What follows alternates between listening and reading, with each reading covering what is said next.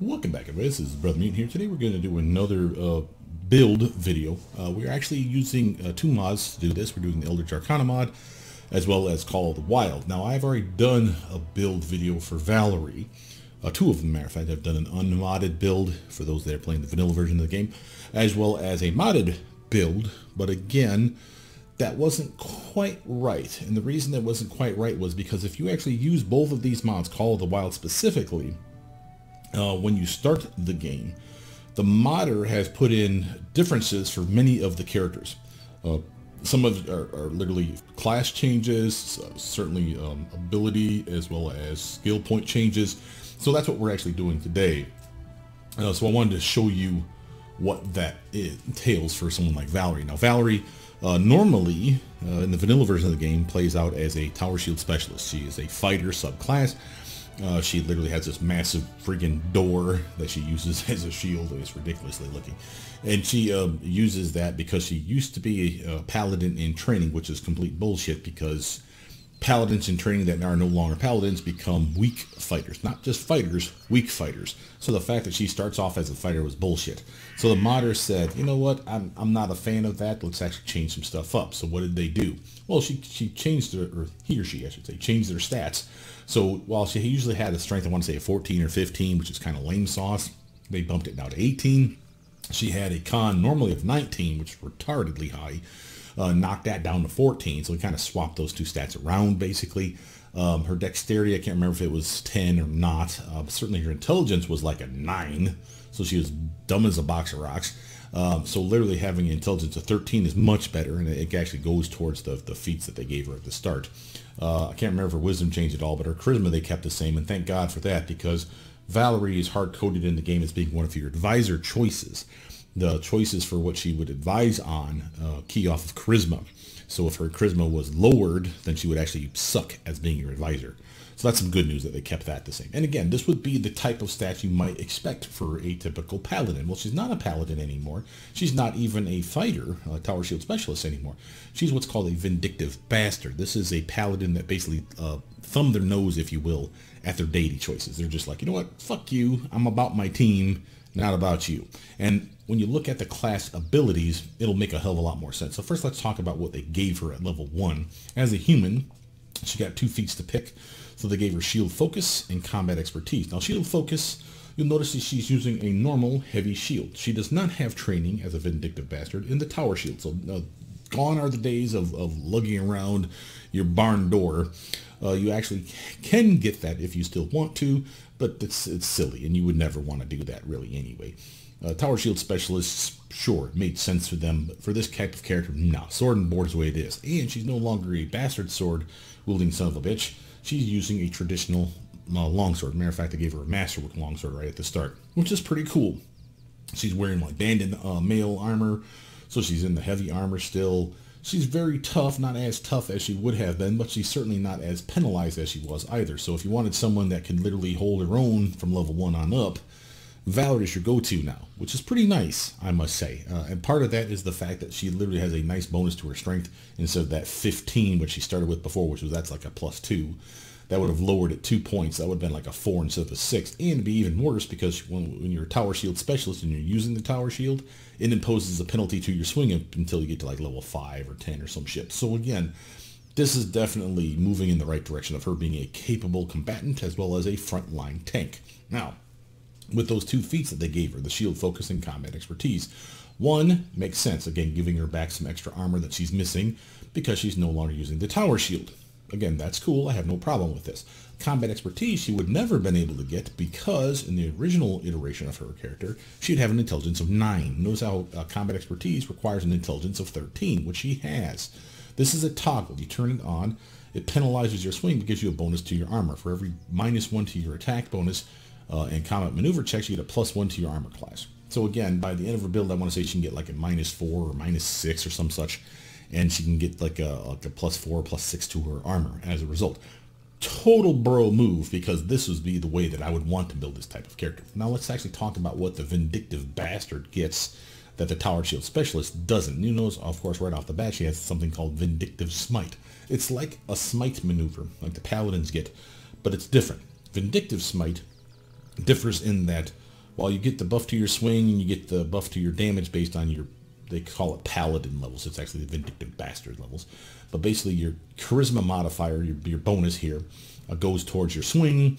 Uh, and then you get like a, a, a, bonus to your damage based on your paladin level. Uh, the vindictive bastard gains a deflection bonus equal to their charisma bonus against that target. That's awesome. Uh, but the trick for this one is, is that they don't have to be evil. They don't have to be neutral or good. It has nothing to do with anything like that. It has to do with did you hurt me or my team? Until one of your teammates takes damage, or you, you can't use Vindictive Smite. Okay? But it's cool. And it, again, it, thematically, it makes sense for what this character is. If this was not pen and paper, if this isn't something that wasn't uh, originally in Pathfinder, fucking kudos to you, sir, for putting this together because this is awesome. This would be the kind of paladin I would play in a pen and paper setting. I always hated the fact that, that paladins always had that lawful good. You must be lawful good. Oh my god, how dare you not be lawful good, you son of a bitch. Uh, this one gets the ability to cast spells. This one has a lot of paladin-like abilities. They're not quite as good as paladins in a variety of ways, but in other ways they're not as restricted as paladins too, which I totally dig. Let's actually show you what we're talking about. For example, uh, first, uh, their typical weapons of familiarity, simple and martial weapons, all armor types, and all shields except tower shields. Right off the bat, they're fucking solid armor, solid swinging uh, character. Notice they have Detect Magic because, again, this is a character that's going to be able to cast spells. So again, unlike the original version of Valerie, she will actually have spell casting ability based off of Charisma. Fucking awesome. She has these Vindictive Smites. Notice how it goes all the way up to six more of them, so seven total. Uh, there's ways to get additional uses of these, I believe. I'll show you that once we get into leveling the character up. But by and large, seven is more than what I need. And also, uh, side note here, uh, for those people that may have like a, a, the ear of a dev or even the modder that did this particular mod, uh, I am never a fan of when you see, here's your first one and here's your second, third, fourth, all the way up to seventh, where they literally say one, two, three, when it's really, they mean an, an additional one, an additional two, an additional three you really you should make this one or just don't label it at all and then call this two, three, four, five, six, seven. Quite frankly, because it gets confusing. When you see six, you're like, oh, I get six of them. No, you don't. You get six more of them. So again, I, it's just a bugaboo of mine. Notice, uh, unlike a paladin who would get their charisma modifier added to their fortitude, their reflex, and their will saves, all of them, which is one of the reasons the paladins are fucking awesome, these guys have what's called Faded Grace at level 2, and it allows you to pick the feat Great Fortitude, or Iron Will, or Lightning Reflexes as you choose. And it really is just a free feat. So if you wanted uh, to increase her reflexes, which are going to straight up suck because she has no dexterity, and reflexes is like the lowest category for the saves that she will get points in, you can do so. You can give it a little juice here. I would not recommend that. I'm going to recommend either Great Fortitude, which is one I'll grab, or Iron Will, which you could grab as well, because Fortitude, again, is her uh, big bonus here, and same with Will over here. Now, she doesn't have a lot in way of, way of wisdom, so there's a way to fucking make that higher using charisma, and I'll show you that trick a little bit later on. But again, pick one of those two would be my advice to you. But again, I, I can't tell you how to make your character, really. I can just tell you how I make my character. I'm going to go with Great Fortitude because she's going to be in the front ranks and Fortitude saves are going to be her cup of tea. Right? And notice that because these are really nothing more than the Great Fortitude feat, for example, then that means that this unlocks the ability to unlock improved Great Fortitude, or whatever the hell it's called, Greater Great Fortitude. Um, so instead of it being a plus two, it could be a plus four. And again, so that would be the same with Iron Will and Lightning Reflexes. Whichever of those three you unlock, that really is the feat that we're talking about. More than that, she'll get these things called Spiteful Tenacity, and notice um, she gets the Die Hard feat for free, basically. Um, and again, for those of you that don't know what this is, this literally is if she's taken to zero in a combat round, she doesn't die immediately. She doesn't fall to the ground unconscious. She has one more round to do something, which means probably chuck a potion, or someone can come over quickly and heal her up before she finally kills the fuck over. But it gives her a chance to be like, fuck you, death uh, swing, here it goes, bam, he dies, and I die, then I stand the fuck back up. So again, kind of cool, and again, falls with her, you know, vindictive bastard personality as far as I'm concerned. Notice she also gets this thing called Gang Up, and it gets an upgraded version of it called Swift Justice later. Now these two, since they're basically the same, it's just this is a move action, and at this point it becomes a swift action. Uh, so it's faster. She can move and attack still in the same round now. Uh, but this one here takes her movement away. But what this does, is it allows her to use her uh, Vindictive Smite and basically give half of the buff to her teammates within range, which is pretty nice. So bonus to their swing and the bonus to their damage based on her Paladin levels for the damage and based on her Vindictive Bastard, excuse me, level uh, for her damage, as well as her Charisma modifier for her swing. So again, pump her charisma, make sure she goes Vindictive Bastard probably all the way. And that little buff will be really, really nice for you and your team. Just, just straight up. And if you haven't noticed something already, it's really going to key in when we start, uh, start talking about this bottom list down here. But let's let's keep going on. So again, Swift Justice is just more of the same. It's just, like I said, it's a swift action versus the move action. Notice she gets Stalwart. This was something that she had in the past, I believe, as well for a Tower Shield Specialist. For those of you that don't know, this is the, the opposite, if you will, version of what the little reflex ninja bastards always get. You know, I always bitch about how they get the ability to evade damage. What does that mean? If they make the reflex save for a spell that would do like half damage, they take no damage. Well, this is the opposite in the way that if it's for fortitude and will saves. If she makes them and they uh, cut the damage in half, she would actually take no damage. And that's cool. It's not quite the same because there's more reflex saves for you know half damage spells out there, but there is still definitely fortitude saves. I don't know about will, but there's definitely fortitude saves out there that are like, make the fortitude check and you'll take half damage.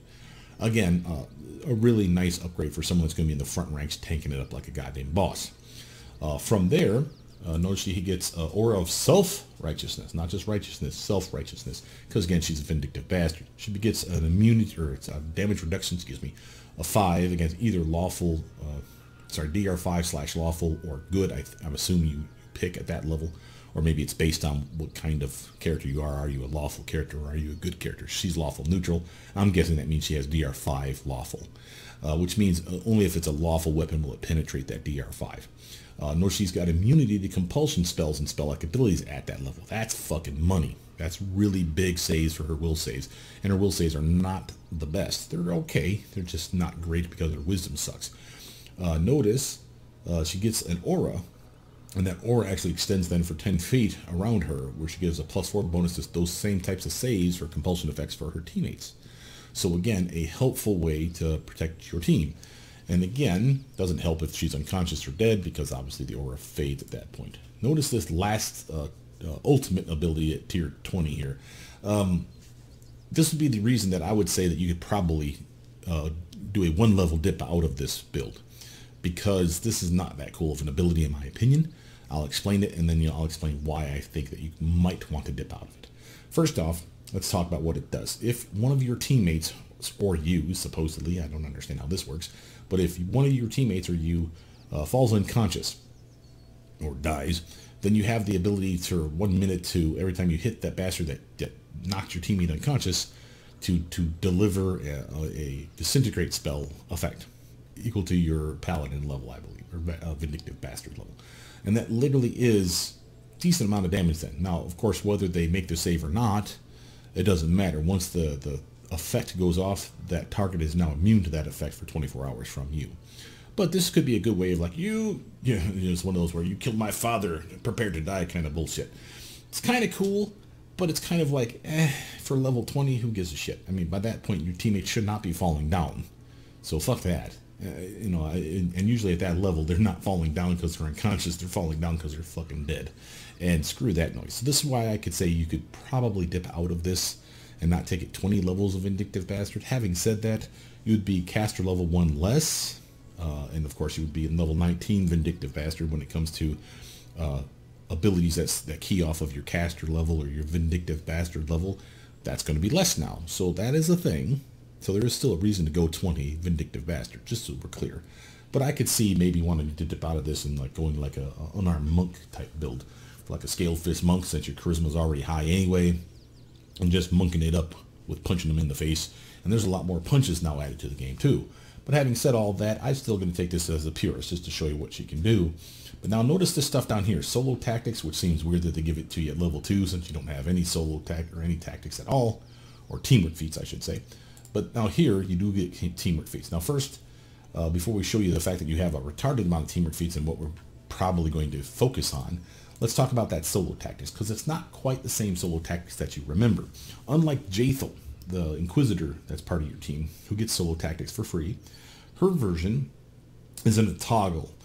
This version is. This one you have to activate it and you get it for a number of rounds equal to half her Vindictive Bastard level plus her Charisma modifier. So again, the more Charisma modifier you have, the better off you're going to be. And again, the more levels of Vindictive Bastard you have, again, i.e. going all the way to 20, the better off you're going to be. So you can use it for many, many rounds by the end of the build is the point. But you have to activate it. Now, what does this do, though? It's the same as what Solo Tactics does for Jaethal in all regards. If you have a teamwork feat, the way it normally works is if you have the feat and someone on your team standing next to you, and they have the feat, then the feat kicks in. A uh, fine example is back-to-back, one of the first ones we're going to grab. It's a plus two to your armor class. Okay. Now, you have to be standing next to somebody with that feat. Having said that, with solo tactics on, they don't have to have the feat. They still have to be standing next to you. So let's say it's her and Amiri front uh, lining it, right? So they're the front tanks now. Miri doesn't have back-to-back, but you do at level 3, let's just say. You activate solo tactics, and for that one round or however many rounds you leave that toggle running, you get the benefit of back-to-back -back because you still have a teammate near you. They don't have the teamwork feat, though.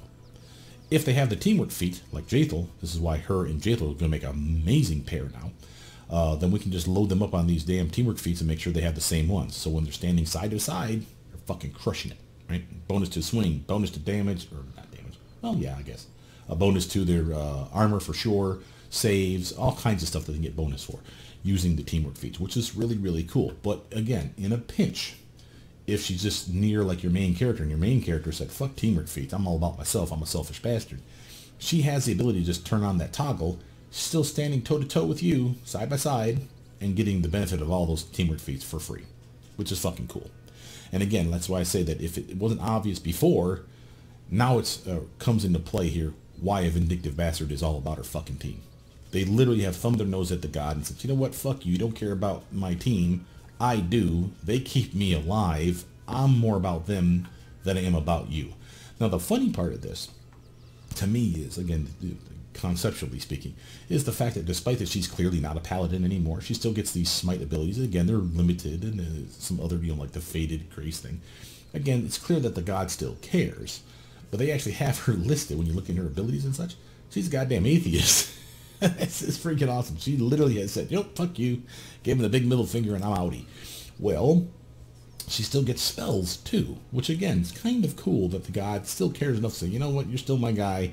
I, I, I understand why you're not a paladin and you can't, you know, hold on to the whole lawful good, you know, kissing my butt every day of the week bullshit. I'll still let you have enough of your abilities that you're not just a, a weak version of a fighter.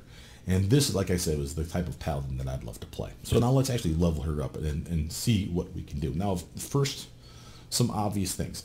Uh, notice that intelligence and charisma are both odd, 13 15 respectively. Now, we only have five points that we can spend by level 20. And again, I still maintain that even if you not sharing, uh, if you don't shut off XP share, if, if everyone's getting the same amount of XP as you're leveling up, you can still finish the game with all the DLCs at level 20 by the end of the game.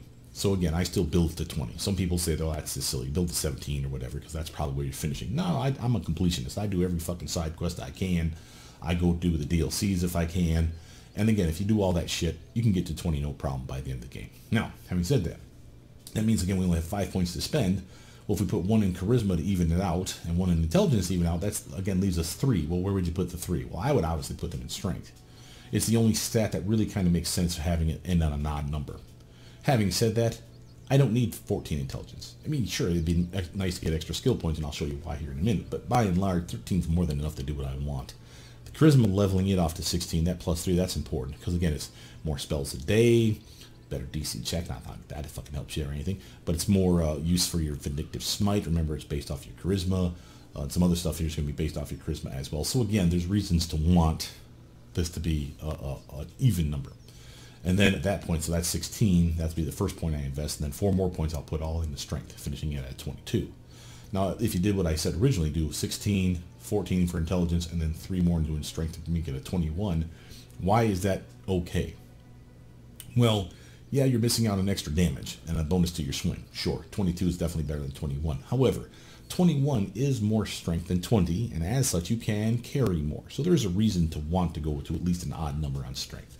There's other exceptions to the rule, like having a dex of 13 or an intelligence of 13 or what have you. Unlocks feats. A, a fine example is that first feat that she has, combat expertise. It required an intelligence of 13. So again, she had what she needed. That's why I don't feel like I need to invest it anymore. Sure I get more skill points, and that would be something, but she's not a skilled monkey. She's not someone that's like, you know, I really need to focus on these three or four or five things So she don't need a lot of skill points, which is good news because she's not going to get many. The other thing you need to do is when you're looking at this character, know that A, she's going to be a caster now, which is something you didn't have in the vanilla version of the game. And you're not going to get all those cool tower shield specialist feats here where she's like blocking you and everyone else in the front rank with her tower shield. So there is that. But she's a, a solid attacker now. She has good armor still.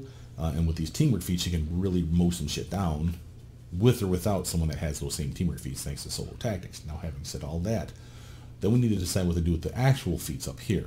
So now that's the trick.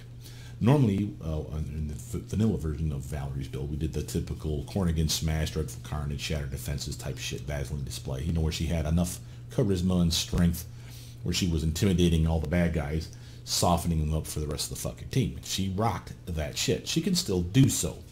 I'm recommending we don't. For a couple reasons. One, because the teamwork feats are fucking cool. And there's some cool shit in here that synergizes well if you grab the right feats up here. So let's actually get into it, shall we? So now we have, notice the laundry list of cool stuff here, like the Arcanist, Bloodrager, all these cool things are coming from my Call of the Wild mod. Uh, Vindictive Bastard is the sub or the specialty class. And again, it is not a paladin. Be real clear. Paladin's way the fuck up here. This is a completely separate class. And again, still pretty damn cool. So we're going to always take your uh, Vindictive Bastard all the way to 20 levels. So what are we going to do? Well, now notice first they gave her one point in Knowledge World, one in Persuasion. And I disagree on both of those points for two reasons. One, she was trained as a paladin, clearly. So how is it she has no knowledge of lore religion? Yes, it's a green check mark, and yes, we'll invest in it. But the point's still the same. How come there wasn't one here? Why was it knowledge of world? That made no fucking sense. Same with persuasion. Yeah, she's charismatic, so I suppose that makes sense for that. But again, to me, it'd be more, you know, athletics, mobility, something physical. She is a, a paladin type, after all. So something that keyed off of strength like the athletics would have made sense. We're not going to even do that because I need perception. I'm going to put both points into uh, lore religion and perception from this point on. Uh, I could, you know, uh, spread them out so that, you know, arcana, world, nature, religion, all get a point. Same with persuasion. And again, if we were doing the Cornugon Smash build, you'd want to get that persuasion to six. So there's reasons to get this higher. Uh, you do even use Magic Device because your charisma is high enough that it's worth a damn. But to me, every character should have perception every character should have a specialty in something, uh, and while she doesn't have any wisdom to really help out with lore religion or lore nature for that matter, thematically for her it made sense to me. And again, there is a reason to want lore religion. I'll show you that here in just a moment. Notice here's our Faded Grace, and again, I'm going to go Great Fortitude. Again, it's nothing more than the feat. Just a plus two to whatever save we want. So whether it's Fortitude, Will saves, or Reflex saves, just pick one and run with it. Again, Reflexes is a weak uh, point. Fortitude and Will are probably ev evenly distributed as being both very good, so either of those is a solid choice. And again, the fact that it adds to our stalwart, I would recommend either of these two over Reflexes because again, you'd like to have that damage and turn it now into zero damage. And I'm, I'm kind of cool with that. And again, we get solo tactics now even though we have no tactics. It's a dumb idea. They honestly should have made that it just showed up at level 3 when you get your first teamwork feat. I suppose, I mean, for her it doesn't make sense but if I played my own Vindictive Bastard, I could have picked up a Teamwork feat here, potentially, I suppose. And then I would have had Solo Tactics at level 2, and boom, I can use it now. So I suppose there is that. Keep going. Again, Perception or Religion every time, all the time. Here we go. Uh, let's do the teamwork feats first. We do the bottom ones. Now I want to show you the unavailable ones first because there really is a laundry list of new ones added as well. We're not going to go through all of them, but I want to show you some interesting points here. First, Swarm Scatter. For each ally who has this feat is adjacent to you, plus one bonus to your armor class. So if you have the whole team of six there, right, and there's five people circling you, and all of them have this feat, or you have your solo tactics running, you get plus five fucking armor. How cool is that? And keep reading. As long as you have this bonus, you are immune to the swarm attack and distraction ability of rat swarms. That's fucking money. And again, not amazing, but for free shit, that's free shit. Notice a target of opportunity. I'll point this out because Jaethal is more of a ranged attacker than in this iteration, which seems weird to me. But whatever. Uh, if you have point blank shot and a high base attack bonus, you can unlock this one called Target of Opportunity. When an ally who has this feat makes a ranged attack and hits an opponent within 30 feet of you, you can spend a swift action to make a single range attack against that opponent. So it's free shot. Fucking awesome, right? There's other stuff in here like uh, uh, Broken Wing Gambit, It requires persuasion for her. She can totally do this. And again, it's one of those where if you read the tooltip, it kind of makes sense. You use your persuasion, you're basically conning the other person, the bad guy, into thinking that you're wounded. So they get a bonus to their swing and a bonus to their damage until you attack or the end of their turn or whatever uh, happens first. But until that time, your allies, and this is why this is a teamwork feat, your allies get an attack of opportunity at the motherfucker that's swinging at you. And again, if they miss, just because they have a bonus to their swing doesn't mean they have to hit you. If they swing and miss at you, your teammates all still get that attack of opportunity on the son of a bitch and just beat them like a pinata. So you can see how much fun you can have with some of these newer things that they have going on here. It's very, very cool shit. Uh, distracting charge is another interesting one where basically if, let's say, Jaethal charges this bad guy way the fuck here and I'm standing next to the bad guy. I have this feat, so does Jaethal, or maybe I have this feat and I have solo tactics running. Somebody charges this person, bam, hits them in the face. Because they're next to me now, remember I have solo tactics running, I get now for my next uh, turn a plus two uh, for my next uh, turn for swinging at that bad guy because of the distracting charge. Their charge distracted, obviously, the, the bad guy in question, and it gave me a bonus to my swing for the next combat turn, which is pretty fucking cool. And again, you'll see a lot of these teamwork feats add either a bonus to your swing, a bonus to your armor, bonus to your saves, uh, in some cases even like a bonus to your damage, which is respectable. It's definitely worth considering. So what are we going to grab though? All right, so uh, for me, again, we got one, two, three, four, five, six of these. Am I seeing that right? Yes. So for me, uh, the ones that stick out, uh, obviously, uh, I like back to back. Notice that we need higher perception, which I can actually upgrade right now if I want to do that. Uh, I'll get things like outflank. Uh, that's two tandem trip is going to be interesting. You need to, trip feats to really make this work. Uh, whenever you attempt a trip combat maneuver against an enemy uh, threatened by an ally with his feat, you roll twice and take the better results. Basically, advantage on tripping. Right? It doesn't sound like that big of a deal, but trust me, that gets to be quite powerful when we talk about feats here in a second. Shield wall still something that she's going to want, extra armor. I could do that swarm scatter. I could do shake it off for some extra um, saving throw bonuses, uh, get my better co coordinated maneuvers. Remember, this includes like your tripping ability, uh, coordinated defenses, so I get better protection from being tripped or disarmed or all those dirty trick moves that they could do as a combat maneuver. So again, a variety of cool shit that we have to play with. And hell, she is a caster, or will be. So again, like shielded caster and all that shit that gives her concentration bonuses so that she's not distracted while casting her spells in the midst of combat is fucking cool. So that's still something we can do. But again, what am I going to do here? Well, uh, I'm going to do that tandem trip because I'm going to show you what you can do with it. Because of this bastard right here, combat expertise, we have the ability to grab trip. See that? Intelligence of 13, combat expertise, or kinetic warrior. Uh, and again, this was something that Valerie could not do because she did not have the intelligence. Now, yeah, you could have given her a TR that gave her like a plus four or more to her intelligence, and therefore she'd have the intelligence high enough to be available for grabbing combat expertise, and then you could grab trip. But now, we can just start off at level 3 this way. This is literally in the first goddamn chapter. You haven't even fought the Stag Lord yet. So you can fucking start using this trip maneuver. And again, remember with Tandem Trip, if she has that solo tactics running and she's standing next to anybody like Amiri on the team, or your main character for that matter, with solo tactics running, she has tandem trip. She tries that trip maneuver. She has the ability to roll twice on that motherfucker. Where if it fails the first time, she rolls again. And oh, oh now you pass it. Okay, so we do trip them. And while that doesn't sound like that big of a deal, a couple things to point out about a target that's been tripped. Remember, when they've been tripped, this is the same for when you get knocked on your ass too. You have better armor against ranged attacks because it's harder to hit you because you're prone, but you're easier to hit with melee attacks. So again, you have less armor against melee attacks because you're prone. So again, softens them up for the meleeers, right? Also, they can't attack when they're on their ass, but they can stand back up and then still swing, but that takes their movement. So they don't get to swing, swing, swing, swing, swing like they normally fucking do. They have to stand up first, then they can attack, and they only get one attack for doing that. But better than that, when they're standing the fuck back up, unless they have ways around it, and there is ways around it now, but unlikely for the bad guys, they stand back up, that's an attack of opportunity for you and anyone else that's within melee range, which means you, the uh, um, maybe your main character, hell, it could be Amiri, I'll get an attack of opportunity and you're just beating that motherfucker like a pinata because he's standing the fuck back up. And we have ways of capitalizing on that even further thanks to this mod. So again, a nice starting setup for softening up targets. Keep going. Notice I'm getting a level 1 spell now. Right here. I'm getting my second Vindictive Smite. Uh, again, I'm going to push Charisma up to 16, level it off. Remember, that's going to give us a bonus of Persuasion, not that we give a shit. Uh, I can do like so. Here's my list of spells for level 1 spells. Not the best list ever, but Divine Favor, solid. Challenge Evil is not bad. I like Bless. I like Bless Weapon better.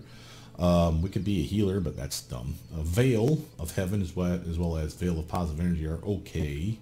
Lesser Restoration is nice. Magic Weapons decent. So again, there's some decent choices in here. So don't kid yourself. You're actually doing okay for yourself for a free caster uh, type. Now notice here we're getting our Gang Up ability. Again, boom, boom. Now, what am I going to grab for a feat? Now, now, first, remember, we just grabbed Trip. I want to point out some cool ones to you. So here's Fury's Fall. Use your strength and agility to send your foes crashing to the ground when making a trip attack. Add your dexterity, which she does not have, to your CMB. So again, there's no reason to grab that one. I mean, if you give her like a belt of dexterity or whatever, that's a thing. But again, it's silly. Notice this new one, and notice the all the um, ones that have color associated with them, besides this generic ruddy tan brown color. Um, the ones that have color are coming from the mod, Call of the Wild. So unsanctioned knowledge vindictive bastard is something we will grab, not right now. We'll grab it later, but look at this. You can get a level 1, a level 2, a level 3, and a level 4 spell added to your spell book. And they come from either the Bard, the Cleric, the Inquisitor, or the Oracle spell list. That's a lot of different spells. That The Paladin spell list is what you normally have. We have a lot more shit that you can add here. It makes your character a lot more flushed out for what they can do. I'm going to add this later. Uh, I would not do so. Um, I'm doing it now or doing it later because I want to show you what spells you could have picked up just as the Paladin or the Vindictive Bastard. And then we'll add to the list, okay? Other stuff that's of interest to me is like Toughness. Again, I, she's a front rank uh, liner still, so there's no reason not to have heavy armor. Hell, we could do Tower Shield Proficiency if you really wanted to get crazy. Uh, we could get more teamwork feats up here, which is kind of silly. Notice this one. Steadfast Personality add your charisma modifier instead of your wisdom modifier to your will saves, but only against mind affecting spells. Uh, now that means your will save is not better. It's only better for that instance. So when, when you pick this one, it'll look like it's broken, like it didn't do anything. No, it, it works. You just need to wait till a mind affecting effect comes your way. Check your saving throw and you'll see that you did get the bonus. Notice it's two things. Uh, it adds this to your will save. So again, will saves is still four. Against a mind affecting spell, it'd be seven. See that? But you won't see it down here. It'll still say four. When you check your combat log, you'll see the seven.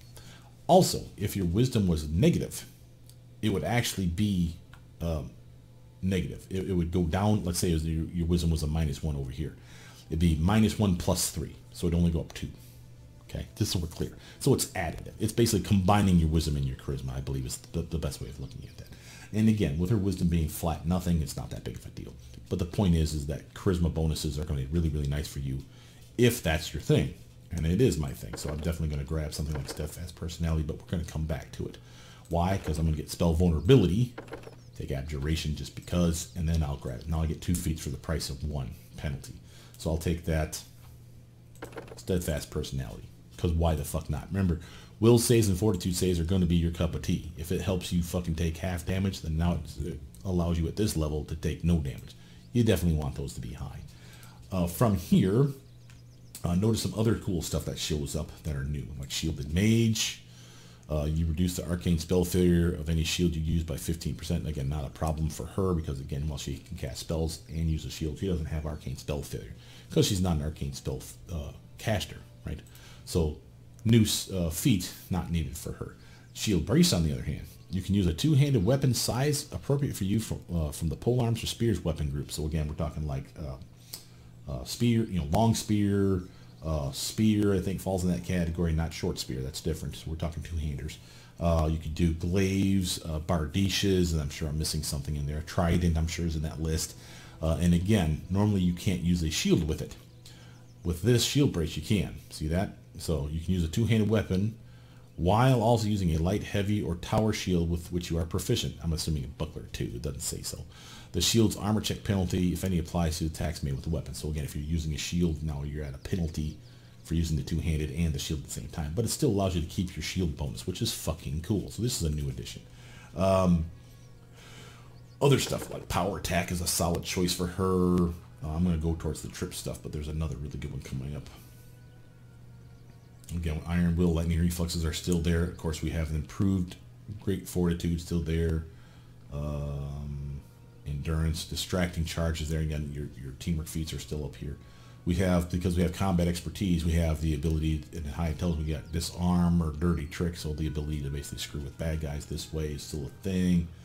Um, artful dodge. Notice her dexterity sucks, so she doesn't have dodge on her list, but she can get artful dodge because her intelligence is high enough. Two things that this does for you.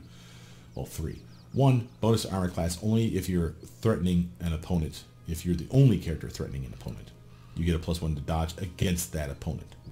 Be real clear on this. Uh, the artful dodge also acts as the dodge feat for purposes of satisfying the prerequisite for you know, that requires dodge. So, for example, if you try to do like crane style, crane wing, crane riposte, you have to have dodge first. Well, if you had artful dodge and your dexterity was crap, you could totally pull that shit off. That's kind of cool. Notice this last part. This is the really fun part.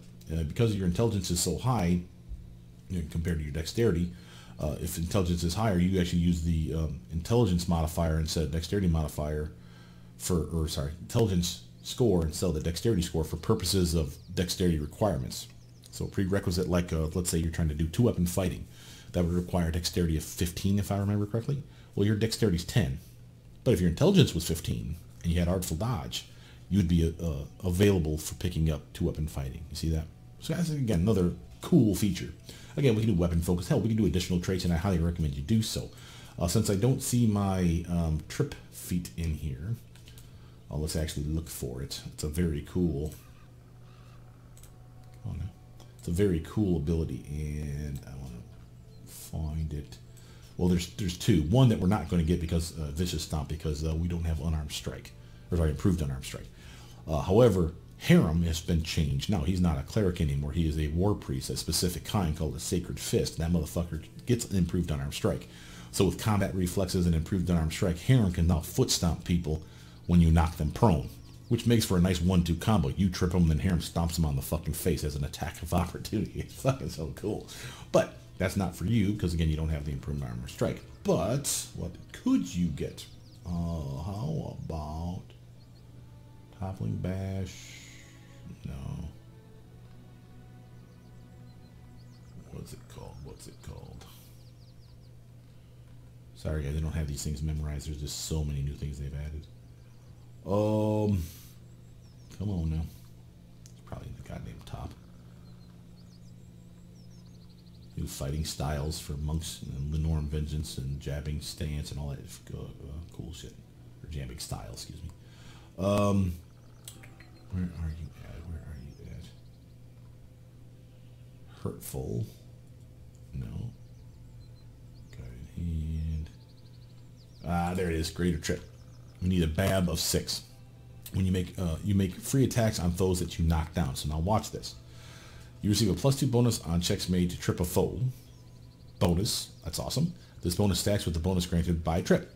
Whenever you successfully trip an opponent, that opponent provokes attacks of opportunity. So I trip them, and if I'm understanding this right, I have the ability to attack them as a follow-up.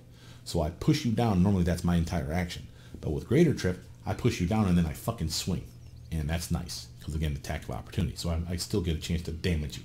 We just need a higher BAB to pull it off which is something we're definitely going to do. Since we don't have to worry about that, then I can grab power attack now, and we'll do so. So we have our steadfast personality, which is our bonus to our will saves, only against mind effects, uh, and then power attack, which means bonus to our damage. Not bad, not bad. Now we'll get a teamwork feat. Uh, again, here's our list. Now we have outflank. We also have back-to-back. -back. If you want armor, if you want outflank, that's a bonus to your swing. I'd rather swing better, so a solid outflank here, but I'll get back-to-back -back as well. But a solid upgrade. Vindictive Bastard. More Vindictive Smites. I love all that. Uh, from here, Greater Trips, even telling you that you want it. Fucking awesome, right? New spells, level 2 spells now. And again, look at your list. Weapon of Awe is pretty good. Righteous Vigor is not bad. I like me some Bull Strength, even if it's short term. Uh, some of these don't work for you, like Aura Greater Courage. Um, requires you have the aura like a paladin. So they just cut and paste the paladin list. We don't have the order of greater. Uh, we don't have the feature uh, where the paladin's aura of courage. So we don't have that ability. Because of that, we can't use this spell. Or, or I mean, you pick it, won't do you any good. But resist energy blade tutor is amazing. Effortless armor is useful for you. Delay poison's decent. Bestow grace if you have a good teammate with a high charisma, like the Eldritch Scions that I usually play. It's a fucking amazing ability where I give them like the paladin ability to use your charisma for your fortitude, reflex, and will saves for a, a short period of time. That's a solid, solid spell. But again, you see how we're building into a trip heavy build and a teamwork feat based build. Now again, I could do this just to show you massive points. Uh, and the way this works, by the way, is um, you would get with this in much intelligence. We're getting the backlog of ones that we've burnt up. But you won't get three skill points at every level. You'll get two, then three, and two, and then three, and two, then three. It's just giving us a backlog of all the ones that we've missed. So we're not doing that. So again, we're still limited to two every level. So in the grand scheme of things, if you wanted 10 more points by the end of your build to spend in skills somewhere, that, that's a thing. Hey man, do that thing. But I don't think it's necessary. I'd rather start pushing it into strength. I can carry more. We're going to be heavy down with uh, you know, the best full plate probably anyway, and a nice solid heavy shield and a nice long sword. So she's going to be carrying a lot of weight. So more strength is more damage, more uh, a better swing, all stuff that she'd benefit from. Cool. Vindictive Bastard. Got myself another teamwork feat coming our way. What are we going to do for teamwork feat? I think it's time for some back-to-back, -back, quite frankly. And that's a nice little armor bump. When you are flanked and adjacent to an ally with his feat, you receive a plus two circumstance bonus to armor class against attacks from opponents flanking you. So again, nice little bump. Notice we need a perception to unlock that. And again, Jaethal already has that, as you can see by the fact that it's listed right here. Some, a nice addition, by the way, for that the, the devs actually added to the game. Where they actually show you who has the teamwork feat already. Oh, fuck yeah, we got someone that already has it. Sweet. So now we know to take the two of them out together. But again, we don't have to worry about that because of solo tactics. But I'll happily take that now. Now, is there anything else that we can do for our trip abilities? Let's take a quick gander. Again, here's Fury's Fall. Again, we don't have dexterity, so it really doesn't do us much good. Uh, unhindering shield. This is a nice new bonus.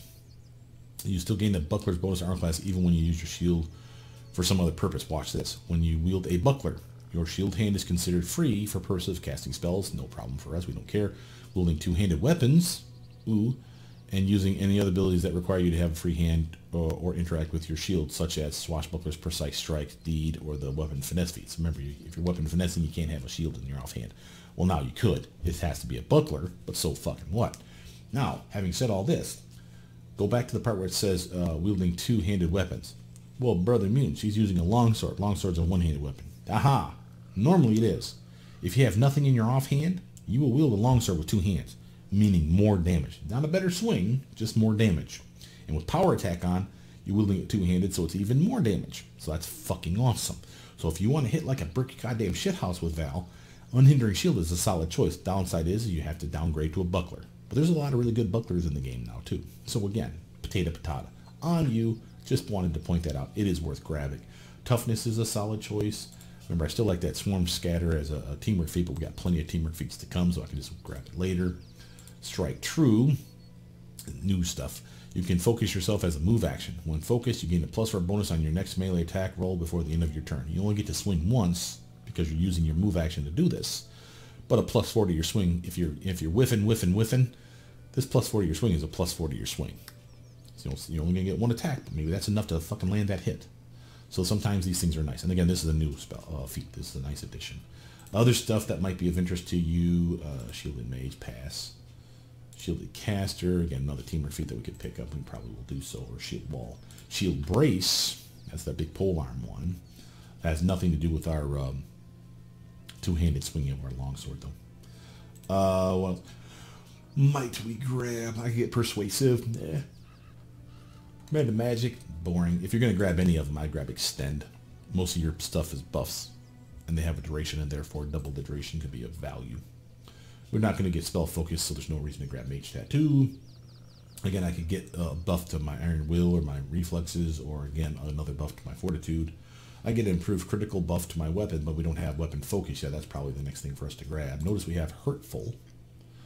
Uh, when you successfully demoralize an opponent with your within your melee reach with an intimidation check, you can make a single attack against that creature as a swift action. So if I try to scare them, then I'll get a swift action where I can swing and hit them in the face.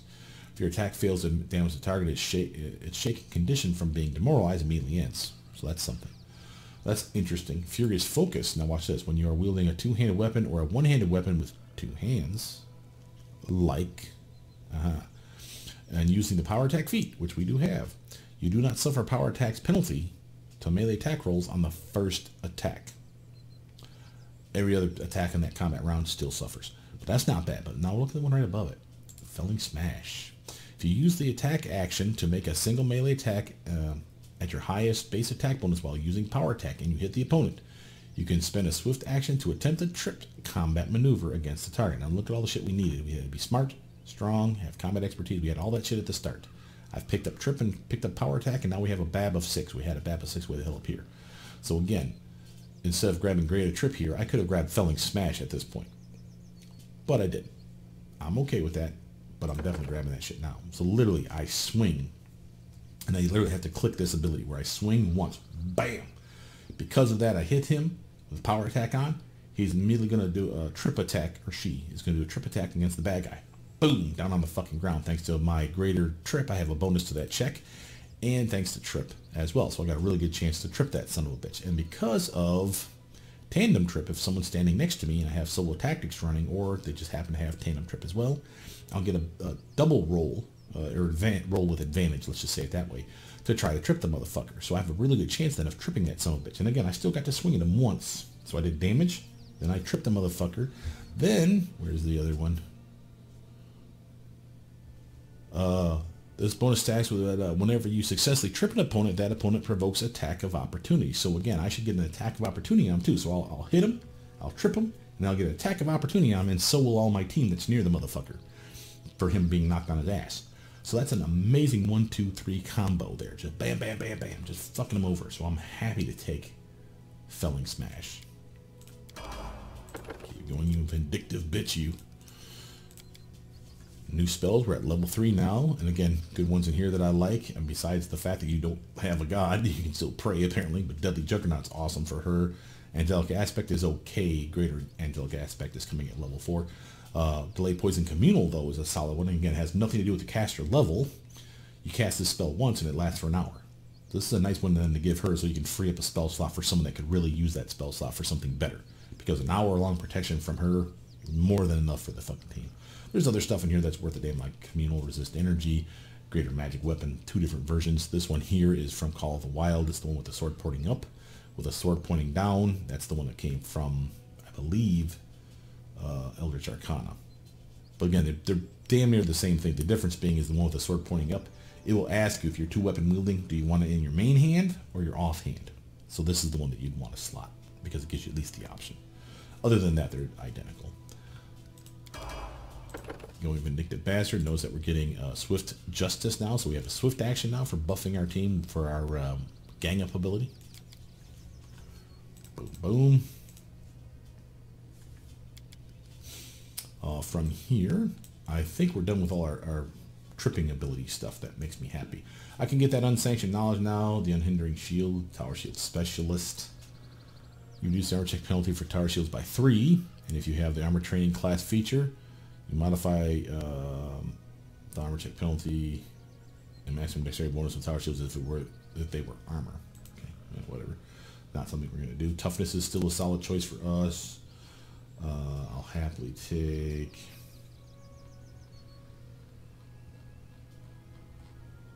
A lot of my magics now. A lot of duplicates, by the way. You'll see that we have multiples. Dazing, dazing. Elemental, four different kinds Then this one here, which this is one, but you have to pick between the five. So we have magic, fire, electric, gold, and acid, whereas this one had just the four. There. uh, fire, electric, cold, and acid. And it's because one set of four came from a mod. This set that had all five came from a different mod. Uh, but they still work. So that's good news. Um, critical improve combat expertise. Let's look at this one. When you use combat expertise, which we'll use all the time for nice armor. Let's mark that shit right now. Um, we'll reduce the number of your use of track from melee attack rolls and combat maneuvers by two. Oh, fuck yeah. So remember, this one gave us, for a penalty to our swing and combat maneuvers, uh, we got a bonus to our armor class. So it's a minus one to plus one flip-flop ratio. So that's a penalty to our swing. We don't want a penalty to our swing. So this is a plus two back. So if, it is, if it's minus two or greater, at least we're getting two points back. That's not bad, and we'll happily take that. Just make sure there's not something else of interest. Sure, there's plenty of other things in here. Artful Dodge is still good. Blind Fight still good. Uh, weapon Focus for Longsword still a solid choice for us. Vindictive Bastard. Strength, nice bonus to strength, and bonus to your attack, as well as bonus to your damage and your carrying capacity. Get those two guys up. Uh, teamwork feat now. Said I wanted that shield wall, and I meant it. Remember, it's a bonus to armor class, and again, if you're side by side with Amiri or Jaethal, yeah, whether they have the feat or not, Solo Tactics solves that problem, and you still get that bonus, and you'll appreciate that shit. Vindictive Bastard, another Vindictive Smite. Uh, first, I want to, want to see if that's available to us. I'm surprised that we're not getting another extra Vindictive Smite or extra Smite ability. Um, let's do a quick scan down here if it's in the extra category. We're just missing something. Uh, extra, lay on hands, rage, spell synthesis. Really, no smite? Hmm. I'm kind of surprised by that. I feel like we're missing something though. Let's go through slowly. Alright. So nothing up in here. Nothing there. I know this is boring, guys. I apologize, but this is the part where I, again, without knowing all the ins and outs, all the new stuff, I don't want to miss an opportunity to give you like an extra smiting ability. Crusader's Flurry. Now this one's cool. Uh, it's not something we're using, but this is something for Harrim. Notice how if you have Flurry of Blows, there's two different versions. But if you have Flurry of Blows and you have a deity's favored weapon in your hand, your meleeing weapon, uh, and you have weapon focus in that same deity's favorite weapon. So it's for Harrim, his favorite deity is, uh, is it Gorum? No. Yeah, if I can't remember. Anyway, uh, his, the, the deity of choice for him is um, one that has flail and heavy flail as their, their favorite weapons. Well, if he uses either of those weapons, and he has this channel positive energy, channel negative energy, or any of these abilities in here, and he has flurry of blows, which he does now because he's a, a sacred fist monk, where he's or, or sacred fist, sacred fist war priest, where he basically behaves like a monk, where he punches punches, so he gets flurry of blows. Read here. You can use your deity's favorite weapon as if it were a monk weapon. Why does that mean? That means the flurry of blows works with that flail now. That's fucking awesome. That's a lot of fun that you can have. And again, it just depends on the deity you pick. Well, he has a deity already chosen for him. Groetus, there it is. And Groetus is a uh, dickhead, but he loves his flails, and there's some really good flails in the game. But again, you would lose out on Flurry of Blows. Well, not anymore, baby, because you got Crusader's Flurry. And he could totally get that shit. Uh, I really... That's vital. I really feel like we're missing out on uh, extra smite abilities somehow. Channel cleric, extra channels. No, war priest can channel too. A lot of cool stuff in here. Hexes, inspirations. No smites. I thought for sure, like rage. I thought for sure there's going to be a extra smite category or additional. Oh, maybe it's under A's. Additional. No. Up in here. No. Additional traits. All right, screw it. Uh, at this point, uh, again, Artful Dodge is still a solid choice. Uh, I happily, though, recommend getting Weapon Focus in that long sword of hers because she is sword subordinate pretty solid now. Why not give her a bonus? Now we're at uh, level 3 spells. Well, no, take that. We're at level 4. We just don't have enough of a Charisma bonus to act, uh, unlock it. If your Charisma bonus was plus 4, you'd actually have one spell slot here.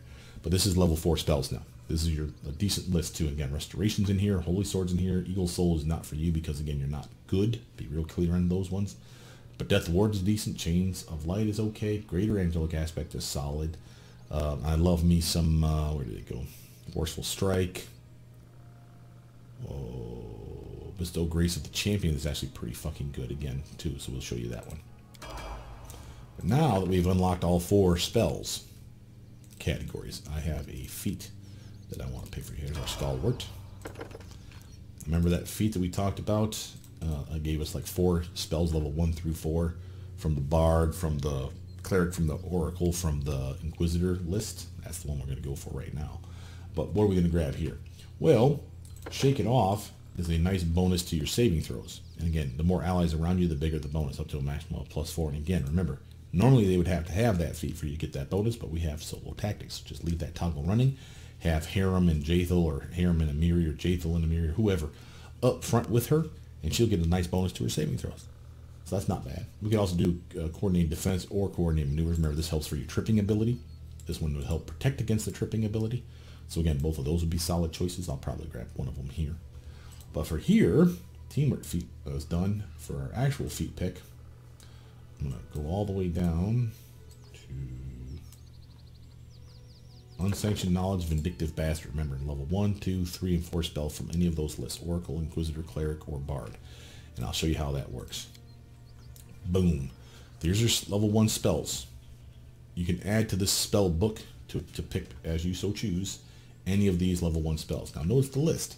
Pretty fucking inclusive. Bane, Command, Doom, Ear Piercing Scream for some auto damage, Flare Burst, Respell, Hideous Laughter. Some decent choices in here. Obscuring Mist. Uh, don't grab Lend Judgment because you don't have the Judgment ability, so just be real clear on some of these things. But Invigorate from a Bard standpoint, that's not a bad little spell. Uh, but the one that sticks out for me for being fucking tits, Shield of Faith, baby. Get me some nice tanking ability up in this house. That's a solid spell. The fact that a Paladin or even a Vindictive Bastard doesn't have access to that one seems weird to me. But this one, remember, the one that steadily gets better over time. Can get plus 2 all the way up to plus 5 if you get 18 caster levels. She cannot. Well, actually, that's not true. I can show you a way to get to 18. You're just not level 18. You'll be level 17 caster level as a purist build. Level 2, there's all your new spells again. Blade Tutor being one of the best ones on that list. But again, here, new list opens up for you. Again, anything on here. You can get a summons now. Uh, we got some uh, AoE damage. Maybe you want to do some sneak attack love. Just be a dick. Savage Maw. Remember, we're not doing the intimidating uh, Cornugon Smash Dreadful Carnage build. But if you had Savage Maw activated on yourself for many, many, many minutes, not only do you get a free attack based on your strength modifier, no less. Uh, if you crit, you bleed the target. But at any time, you can end the spell with a massive roar, and you intimidate everybody in a fucking circle, bad guys wise, of course. And that basically demoralizes or shakens the target. So again, you could still be that person that sets up the team for, you know, shattered defenses. Don't like that. Uh, another fine choice is the, a, a, healing path where you just slap down a little glowing wall of light. Anyone on your team that stands in that light, per round they heal one health. That doesn't sound amazing, especially since it's going to cap out at like 17 rounds. But that's 17 healing per person times six people, seven if you include the pet. You know, like uh, uh, that was his name, Ekundayo's little doggy pet, have all seven of you standing on that fucking glowing path, and that's 17 healing max at the end of the build, times seven people. That's a lot of fucking healing for a level two spell. Uh, but, let's just say it, mirror image. For a frontline and paladin motherfucker, mirror image. Or, or uh, blurs up here too. That's another viable option. A bladed dash is a solid fuck you. You know, like run up there and smack him in the snoot. And notice this one here, your casting status charisma. So the higher your charisma, the, the better your bonus for hitting that target and allows her to basically teleport. Boom, shoot, you know, stab someone in the face. If you're going for theme, Bone Shaker, Burst of Radiance are all solid choices. One is literally like an auto hit move for just random damage. And then the other one is uh, AoE, non-teammate friendly AoE, but again, solid damage and it fucks over evil targets. So again, if you want to still feel like someone who's holier than thou, but not quite the paladin, Burst of Radiance is a solid choice. So again, there's a lot of really good stuff in here, right? Level 3, here's your spells again, and here's your new ones to choose from. Uh, in this list, not only is there like a laundry list of cool shit like slow and haste and all kinds of cool shit like that. Uh, Good Hope is a solid choice for me. Uh, animate Dead, I mean, maybe this is why you had a falling out with your deity, because you decided to use the, the fallen bodies of all the things you've been slaying and turn them into undead skeletons and, you know, wreaking havoc on his friends and you know uh, allies, pissing them all off. And your, your deity said, hey, you're a dickhead for doing that. You're not a paladin. Well, I'm a vindictive bastard, so fuck you. I'm still going to do it. So animate dead. Have some fun. Channel Vigor is another solid choice. And again, haste spell for yourself or any of these other buffs besides. Uh, I can make myself basically immune to being flanked. And again, for a tank, a frontline tank, that's fucking money. That's solid reason to fucking grab that one. Don't And it lasts for a long time. Don't like that. We have, um, where did it go? Displacement. Think about a fucking frontline tank like her with you know full plate mail, got a shield besides, and fucking all kinds of dodge and everything else going her way. And then you throw on something like her own ability to cast displacement on herself. 50% miss chance. Fuck you, bad guys. This is an amazing upgrade. A good hope is another uh, viable option in my opinion. Bonus to your uh, you and your team's saves, attacks, damage, ability checks, skill checks, and it cancels Crushing Despair, and it lasts for a good long while. And again, multi-buff for the team solid choice, but I'd probably just use that on Linzi. And again, you can do invisibility purge. Want to talk about weird? Think about being the frontline tank that has to deal with invisible sons of bitches all the time. Not anymore. You have invisibility purge. Big Og and aura kicking off of you that anyone that's invisible in that aura suddenly becomes visible. Whoopsie doodles. we can see you now. Go kill that guy. You get the idea. There's a lot of cool shit, Sally. You only get to pick one, but I'm happy with this placement. I'm happy with Mirror Image and Shield of Faith. So far, we're making her like a goddamn tank. Well, what do you got here at level 4? Again, all guns, good spells. As far as new stuff, Wrathful Weapon. Eh. Don't get Virtuoso Performance because you don't sing. So that's a wasted spell for you, so don't do that. I get Stone Skin, and that's not bad. That's not actually pretty fucking solid. Hell, I get Shadow Conjuration, where I have just a shit ton of conjuration spells. They're all illusions. But I can like summon pets they would be, was it like level 3 on down? You know, third level or lower. Basically any kind of conjuration, you know, whether it's a summoning or a creation spell, level 3 on down shows up on your spell list when you cast this spell. Now, yes, there's a saving throw associated with a will save to disbelieve the illusion. But like if I wanted to create a pit, that's a, a conjuration spell. If I wanted to summon a, a, a animal or summon monster spell, I could do so. If I wanted to do summon elemental spell, I could do so. It wouldn't be amazing, but they'd be there. It's something that she could just cast on the fly. Kind of fucking badass. Again, this is a new spell added to the game. Uh, don't like that. Um, we got Rebuke, we got Serenity, Rigor Mortis. Uh, on this list here, the ones that I love, you know, I'm loving me some freedom of movement. The ability to make myself just straight up immune to paralysis or a teammate. Fuck yeah, for a long period of time, that's fucking money. I could teleport, but instead, let's go for some damage divine power, something that she should, you would think, as a paladin or a paladin-like person should have access to. She does not. What does divine power do? It's not alignment restricted, so that's your, your first key that this is a good spell. It gives her a bonus to a luck bonus to her attack rolls, to her weapon damage rolls, to strength checks. So like if you're using a strength check to break out of like say a web spell or like an ice cocoon or some shit like that, it's a strength check. Her strength is high. It's not the highest, but this will buff it as well strength-based skill check, which is a fancy way of just saying athletics, because that's the only strength-based skill check out there. So she get a bonus to her athletics. Uh, maximum of plus six, she doesn't actually reach this. That's at the highest level, um, or level 18 on up. She doesn't get to caster level 18, she gets to caster level 17. But again, there's a way around that, I'll show you that. And then, of course, you gain a temp HP equal to your caster level, which again, for her right now, or best case scenario is 17. So she gets 17 temp HP, which it's not a lot, but it's something. And wait for it, she gets another full attack at her full base attack bonus, much like haste. But keep reading. This uh, additional attack is not cumulative with similar effects such as haste or weapons with the speed special ability. So if you have a speed weapon or a, a haste cast on your character, you're not getting an extra attack. But we don't have haste cast on her right now and there's no reason to believe that she will. And again, if she needs that ability just to swing, swing, swing, she swings like a fucking champ. Why not have her swinging better? This is a solid upgrade. Bam. Now, uh, more strength. More those. And again, I said I'd show you how to fake getting higher caster levels. So, by, like I said, by the end, she'd be caster level 17, and she'd have spell pen 17 as a purist if she went 20 levels in. But for additional traits, first let's take our emotional drawback of her being envious. And where is that? It's under magic trait. See where it says magical knack. Read this little fucker. Uh, pick a class when you gain this trait. Actually, you don't have to. It's automatically included. Uh, your caster level in that class gains plus two trait bonus as long as this bonus doesn't raise your caster level above your current HD. So we're level 17, but right now you're probably like uh, 15 for caster level. Or 14, sorry. So this would bring us up two levels for caster level is my point. So when we finish at 20, we'd be caster level 17 normally. With this, Magical Knack will be caster level 19, and I'll prove that to you here once we get to 20. And it'll be obvious because your spell pen doesn't change. So your spell pen will still stay at 17, but your caster level, as far as your spells are concerned, will be two higher. That's fucking awesome. Then, uh, let's point out a couple really good things here. First off, equipment traits. Uh, you don't want well-provisioned adventurer anymore. If you're not picking this up at level 1, it's not helping you at all.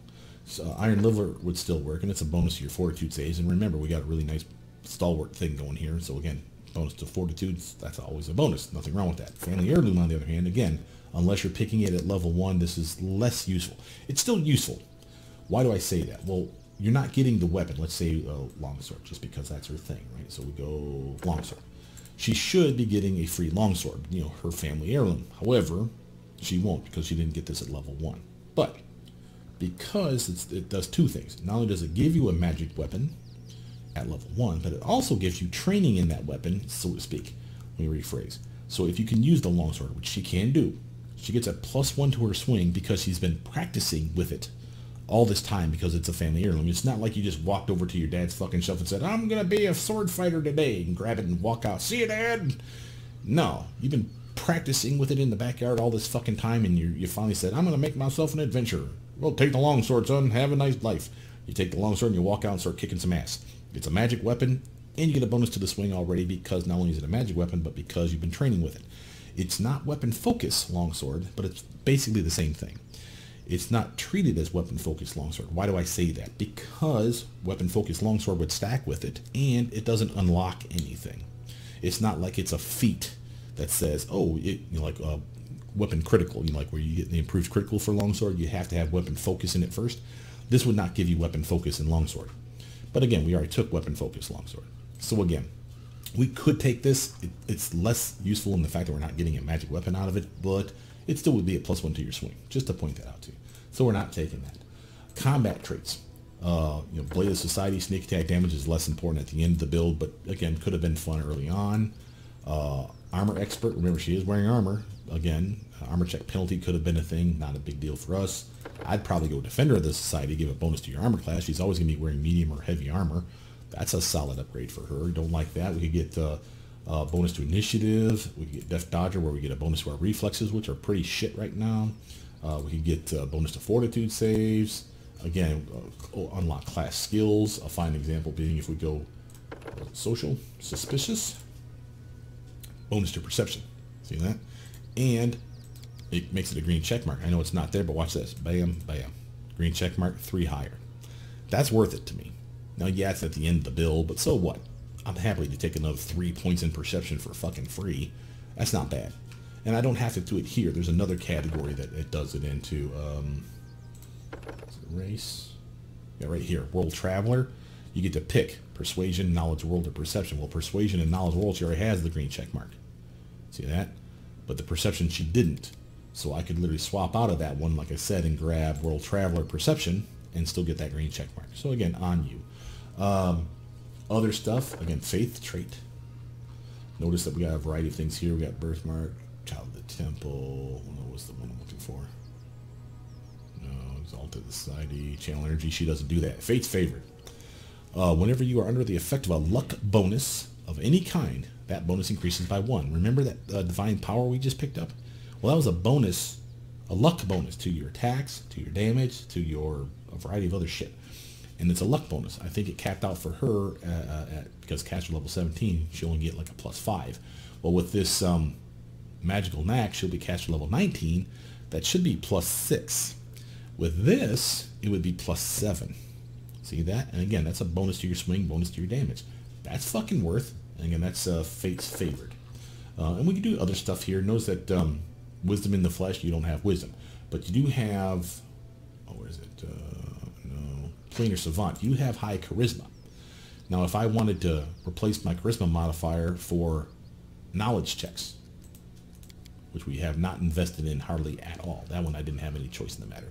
And it's low because, again, our intelligence is low. if I wanted this massive charisma bonus here, so two higher, ring a ding ding. But again, you're probably giving her charisma gear. You could do that by grabbing Planar Savant and picking Knowledge World or Knowledge Arcana. That's a thing. Uh, but I'm, I'm happy with Fate's Favor because again, we had at least two spells that are giving us luck bonuses. Divine Favor and Divine Power are both luck bonuses. And I think there's at least another one in there that's another luck bonus. So again, we're doing pretty good for ourselves. Well, now we got uh, Magical Knack. We got Fate's Favor. Well, what else might I grab? Well, uh, I saw it under here in Regional. She is slow. 10 foot speed increase all the fucking time is a solid buff. I'm not saying you have to do that. I'm not saying that's a thing. Notice again, we did lose our perception bonus because I took away that one. So I can just as easily go back and get that under social trait, like I said, under suspicious. Hell, they've added this new one called Hunter's Blood. This one's actually kind of thematically makes sense for Val. Hunter's Blood. Uh, select one of the following. Persuasion, or Nature, or Religion. You gain plus one trait uh, the green check with a skill. Uh, but also, uh, through your family's lessons, you receive a slight edge when fighting undead. Plus one to attack, plus one to damage, and plus one to armor class against undead. Now that's fucking cool. And again, as a vindictive bastard, this can be fucking played up as far as I'm concerned. Again, not convinced.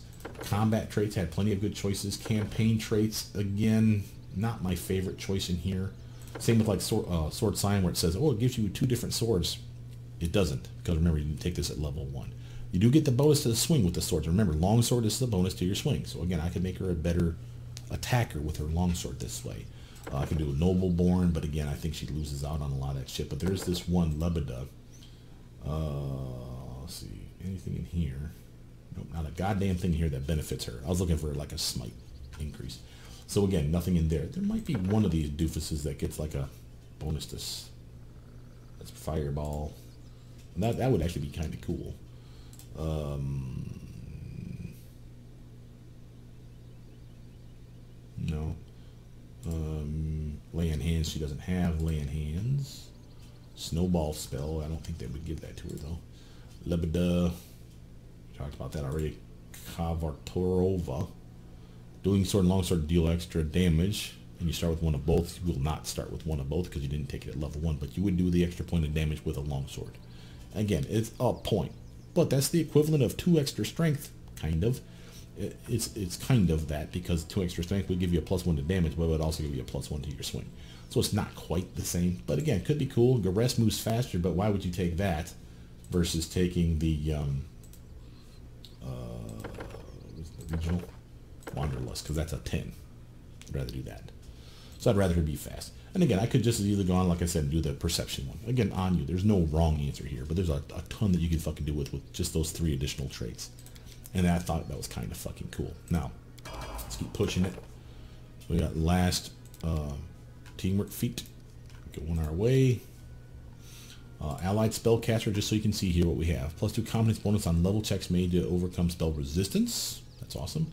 If your ally has the same spell prepared, or known with a slot available if they are spontaneous casters, this bonus increases to plus 4, and you receive a plus 1 bonus to the caster level for all level-dependent variables such as duration, range, and effect. That's not bad. Uh, Bonded Mind, these are the new ones uh, that allows you to like share spells between your teammates or your pets. Um, Swarm Scatter, we still haven't picked that one. Shielded Caster. Uh, this is for concentration checks. Uh, again, just concentration checks. So there's that and Allied Spellcaster. Between those two, you could actually be really uh, concentration check proficient. Distracting charges still a viable option. Combat maneuvers, combat defense. I would take combat maneuvers so we can get that trip going even better. 19. Last vindictive smite. We're up to seven of them fuckers now. In our last feat official. And what are we going to take? Uh, we get improved critical for the longsword. Uh, Artful dodge I still maintain is a solid bonus. Blind Fight's a solid choice. We got, you know, again, no real wrong answer here. There's a lot of shit to pick from. Notice Furious Focus. Uh, I don't know if I mentioned this before or not, but in case I didn't.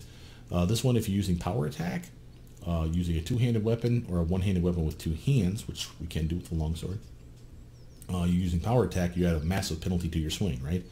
This takes away that penalty, but only for the first swing in that combat round. So good, but not great. Uh, and again, we got all kinds of other good stuff in here that we could have, have snagged. But again, I, am fine with Artful Dodge or... Um,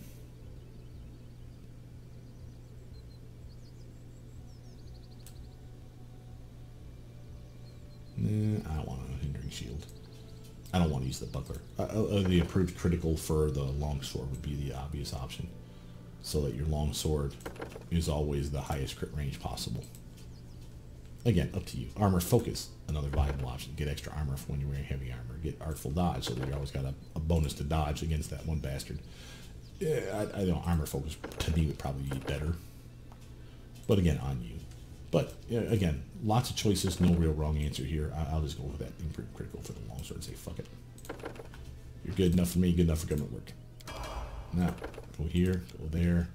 Last point, again, if we did it here, you'd see I could actually get that to 20 and that to 20 and have eight more besides a dump in like persuasion. If intelligence mattered to you. If not, then you're probably going to go oops, strength and then go bam bam. And that's all you're going to get. But a solid strength, solid modifier, extra damage, extra swing, extra carrying capacity. And of course you got your uh, vindictive bastard uh, ultimate ability, the ultimate vindication. Now, uh, let's take a look at this character. So first off, notice we're getting four attacks, right? Again, she has a BAB of 20. That makes sense. Notice the power attack, minus 6.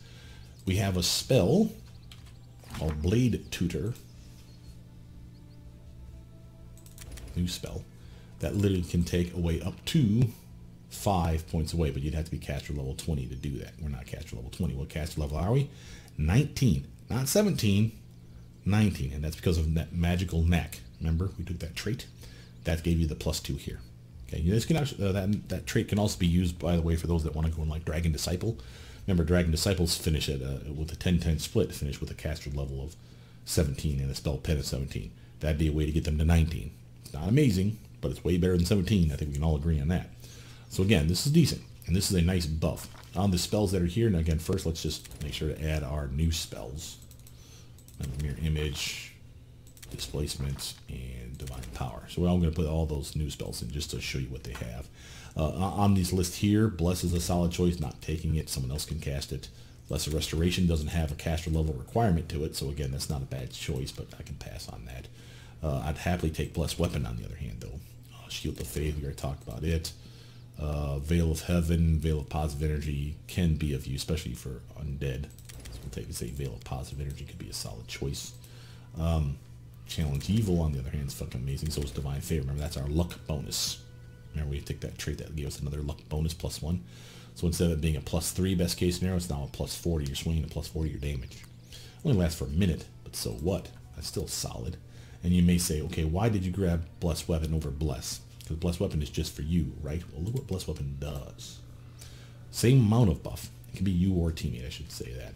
But notice this part here. Um, magic uh, weapon is considered magic for overcoming DR. Who cares? That's more important at the earlier levels because you're going to find a magic weapon for her ASAP. But it's considered good aligned for overcoming damage reduction. So if they have 5 DR slash good, it's now considered a good weapon. It would overcome it. But now this is the real selling point. All critical threats against evil foes automatically confirm the crit. So, so every threat is a critical hit.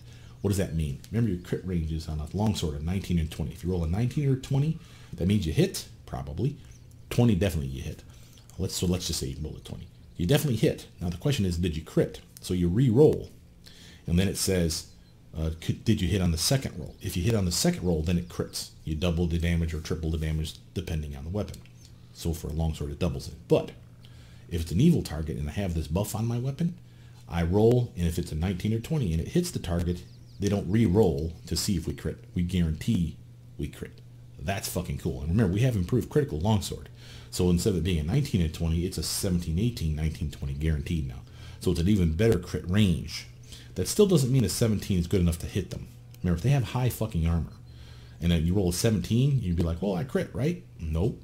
You still have to hit them. So if 17 wasn't good enough to hit, then you didn't crit, obviously, either. But on a natural 20, that's why I say if it's a 20, it's guaranteed that you hit the motherfucker. You hit them guaranteed, and then it would roll for a crit. But if he's evil, it's guaranteed to be a crit. But I still like this as a nice combo. So Bless Weapon is decent, and we got even better than that coming. Watch this. Not only we got some tankiness with our mirror image, uh, we have our bestow grace. We're going to give that to a teammate. Uh, notice this one here, nice buff. Doesn't work on you. Uh, it requires the target be good. It doesn't really say that. It says it, but it doesn't. Watch this. With this spell, you can bestow your divine grace on another good creature. That's your clue. It doesn't have it in capitals though. For a short amount of time. So what does this do?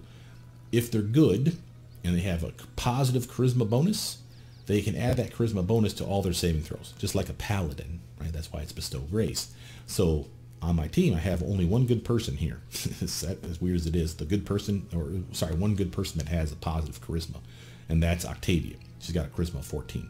So if I cast this on her, she'll get plus two to all her saves for many, many, many minutes. And obviously you'd want to cast this on anybody who has a high charisma. So think about this if your main character was say like a sorcerer and had a fucking shit ton of charisma, but terrible saves, bestow grace baby. Now that massive charisma stat is useful again for you know, fortitude, reflex, and will save. Just boom for many, many, many minutes. That's not bad. But they'd have to be good. Make sure we're clear on that. Other stuff in here, you know, like I'd like to like poison. I love my bull strength. All these are solid choices, but yeah. Uh, Blade Tutor, talked about it. Righteous Vigor is a new one. I want to talk about that. And then Weapon of Awe. So let's talk about these last three. So Blade Tutor, again, that's the penalty to your swing from something like, say, power attack or fighting defensively or uh, combat, um, what the hell's that called? Not reflexes, the combat expertise. And remember the toggle we turn on? That's a penalty to your swing, but a bonus to your armor. Anything that's a toggle that you can turn on and shut off, that's a penalty to your swing. You can get some of that penalty back with something like Blade Tutor. Only one, so whichever is the highest. So power attack for her, for example, is like a minus six to her swing. She could get like four or five back to her swing. And I'll show you how that works. And that's nice because then she's not missing as often. So Blade Tutor, and it's a long buff. Now, having said that, now here's this Righteous Vigor. Again, friendly creature, doesn't last long. Um, every time they hit a target, successfully hit a target, they get a bonus to their attack roll up to a plus four. So they hit them, plus one. Hit them again, now it's plus two. Hit them again, plus three. And they gain temp HP up to a maximum of 20 temp HP. So again, each time they hit, they keep adding to it. Um, so again, really nice, right? But as soon as they miss, it resets everything back to zero. But again, it lasts for the full duration. It just starts back over again. So if you swing and hit, swing and miss, well, it's back to zero. Swing and hit again, swing and hit again. Now you're at a plus, uh, two. So again, you're just constantly increasing your chances of hitting the target and getting some temp HP. Doesn't last for long, but it's a nice fuck you to the bad guy. Then, the new reason that you want this one, Weapon of Awe. Nice buff can be cast on yourself or a teammate. Plus two to your damage. Sacred damage bonus, not common, but keep reading. If the weapon scores a critical hit, remember we have another ability that allows us to confirm critical hits guaranteed if they're evil. If it scores a critical hit, the target's shaken for one round with no saving throw. And that's powerful. Now, of course, they could be immune to that effect. Remember, it has to be on a natural weapon, not an unarmed strike or a natural weapon like a claw attack or a bite attack. But basically, we're going to cast on ourselves for our longsword, and suddenly we're going to be crushing shit. Just going to be fucking amazing. I use Weapon of Awe routinely on Ekundayo because it will work in ranged weapons as well for their arrows. So Ekundayo gets Weapon of Awe, and he can start fucking uh, basically scaring targets left and right. Doesn't kill them necessarily, but if he hits them and he crits and he fucking scares them that way, sets up shattered defenses for my meleeers. And again, that's a nice upgrade. So again, I appreciate that. It's solid damage for a long amount of time, and I'd rather cast it on her than anyone else. Level 3, we got our displacement. Again, I don't mind giving her Delayed Poison Communal because, again, why not buff the whole fucking team? Because it doesn't matter what caster level you are. It's a hour buff, period. So that's the whole team now immune, and I don't have to cast it from, say, like Harrim or Jaethal or Linzi or Tristan. They can use their spells for other more important things because she can just waste this and be recover for an hour. Good job, Val. You know, shit like that is solid for me. Prayer, there's no save, so there's reasons to like it, but I'm not a fan. I like Resist Energy.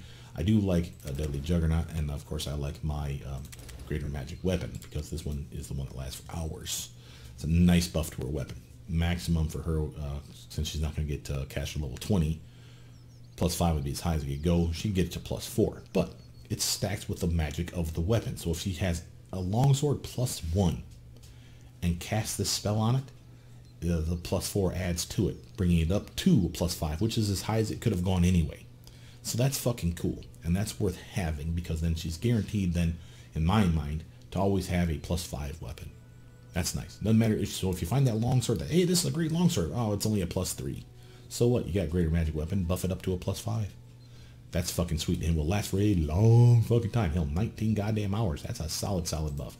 And yeah, there's other stuff in here too. I'm not telling you what else you, know, you could have picked. But this is a solid upgrade. This is a solid upgrade. This is a solid teammate upgrade. This is a solid protection upgrade for her. And we're not done yet. Got our Divine Power, massive upgrade. Remember, luck bonus. Uh, luck bonus right here. Remember, we got that, that trait that increases our luck bonus by one more point. So while she caps out at plus 6, I believe now, thanks to our caster level 19 upgrade, plus 6 is be where it should cap out. Well, with that luck bonus, she should actually be a plus fucking 7. That's a plus 7 to her swing, plus 7 to her damage, plus 7 to her strength skill checks, plus 7 to her athletics skill checks. That's an amazing upgrade, and of course a bunch of temp HP and a full attack extra around. That's a lot of fucking shit from one spell. Doesn't last long, 19 rounds is a good long while. Then I like greater angelic aspect because angelic aspect we could have grabbed back here. This one here. But it's not as good as this one. Why? Well, besides being greater, it lasts a decent amount of time still, but immunity to acid and cold. That's a big selling point. And some decent protection from fire and electric. And DR10 slash evil. And you get an aura that's deflection bonus for you and your team for saving throws and deflection against evil creatures. Again, a solid, solid buff for you and your team. So it's basically angelic aspect on crack. Amazing upgrade. You don't have to take that one. There's other good stuff in here. Here's bestow grace of the champion. Watch this little fucker. Channel the power of good and law into the target, temporarily giving it the power similar to those of a paladin. The target, so not you, um, gains immunity to disease and fear, and they add their charisma bonus to all their saving throws. But notice this part. Target has to be lawful good, and she is not. She's chaotic good. But if someone was lawful good, you cast this on them, like, like so your main character just happened to be lawful good and high charisma. Cast this on them, immune to disease, immune to fear, massive saving throw bonuses for not very long, but so fucking what. So this is a solid upgrade, but it's very limited. Death Ward is a solid upgrade for her. Eagle Soul would have been a solid upgrade for her because it's a, a, personal effect, but here's the downside. She's not good. Uh, see, non-good spellcasters like her would actually become sickened because she's neutral, or staggered if she was evil. She's not, but she is sickened by this spell, and that's a bad idea. It would be a solid buff, though, if it weren't for that. If you could convince her somehow to be lawful good, I don't know that's a thing, but if you somehow could make her lawful good, this could be fucking amazing for her. Don't like that. Uh, other stuff that's in here that was of value, Forceful Strike could be decent. Um, not really sure about Oath of Peace. I've never seen that one before. Death Ward that we already talked about. Chains of Light's not bad. Again, you're not the best at casting spells, but notice no spell resistance for that fucker. That's not bad. And a paralyzed target's a paralyzed fucking target. That could be useful. Of course, Restoration's in here. Breaking Enchantment's in here. We got plenty of good things is my point. So you got a lot of good stuff going for you. But I'd definitely go in for that Divine Power and that Death Ward for sure. Now, having said all that, let's just quick rest up just to show you what I mean and items and equipment. Oh, what are we going to get for her? Let's just get full plate. Don't get anything that has a, you have to be a paladin to wear it because you are not a paladin. Be real clear on this. It will not let you equip it. Um, but like the onslaught armor, this is still made for Valerie as far as I'm concerned. Look at that shit. Plus 8 to goddamn strength, and it increases her ground speed another 10. 20, excuse me. Oof. Yeah, the armor's 10 less, but with Wanderlust that negates that, and then another 20 from the Onslaught armor itself. So she's moving at a goddamn 50. She's a goddamn beast. Look at that fucking armor. And that before we even give her a heavy shield that, that that's worth a fucking man. You give her something like um, uh, heavy shield. That's a ring. Ancestral Dwarven Shield's usually a good one. Child of the Wind's another really good one. Uh, and we do something like uh, Child of the Wind because it gives another 10 for ground speed. She's zipping around at a fucking 60 now. And it's a pretty good goddamn armor going in there. And we have yet to cast a spell on her. Uh, don't like that. We have the Ancestral Dwarven Shield. You can get this one super early. It's decent armor. It's only a plus 4 versus plus 5 like Child of the Wind. But Let's get DR2 slash dash, which means it's not overcome. She's always lowering physical damage coming into her by 2 at every attack. That's not bad. And there's ways around that, of course, too. You give her something that buffs her uh, stats. Certainly charisma. Con would be the one that I would care about. Of course, strength. And that's good enough for her. And she looks fucking awesome. She's got decent armor on. She has spells, which is fucking amazing. Uh, and she, her, as far as her abilities are concerned, that's another reason I rested. Her abilities, so you can see what I'm talking about here. Uh, of course, you want coup de grace and you want fighting defensively, but you want to make sure your power attack and your combat expertise are here. Notice we have felling smash, we have trip. Felling smash, of course, was after we grabbed trip. Uh, so make sure you're using the right one. Here's our vindictive smite.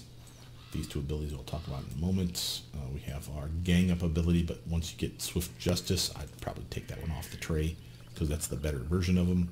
Uh, you have solo tactics, of course, and at that point you just want to put in like random shit.